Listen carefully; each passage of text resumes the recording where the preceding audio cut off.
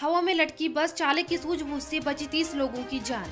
हिमाचल प्रदेश के सिरमौर ज़िले में चालक की सूझबूझ से एक बड़ा हादसा होने से टल गया और करीब 30 लोगों की जान बच गई। जानकारी के मुताबिक पोंटा सिलाई नेशनल हाईवे 707 पर बोहरान के पास एक निजी बस करीब 300 मीटर गहरी खाई में गिरने से बाल बाल बच गई चालक ने यदि सूझबूझ न दिखाई होती तो बस में सवार तीस यात्री हादसे का शिकार हो जाते। शुक्रवार को चार बजे के करीब पोंटा साहिब गताधार रूट पर एक निजी बस पोंटा साहिब से शिलाई की तरफ़ जा रही थी।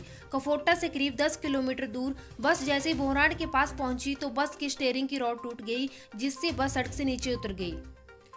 बस सड़क किनारे लगे पैरापीट को तोड़कर हवा में लटक गई। बस का आधे से ज़्यादा हिस्सा सड़क के बाहर हवा में लटक गया।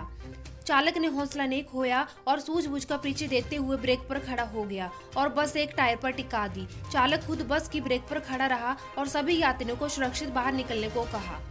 यात्रियों का कहना है कि चालक ने सूझबूझ दिखाते हुए ब्रेक लगा दी और जब तक सभी यात्री बाहर नहीं उतरे, तब तक अपनी जान जोखिम में डालकर ब्रेक पर खड़ा रहा।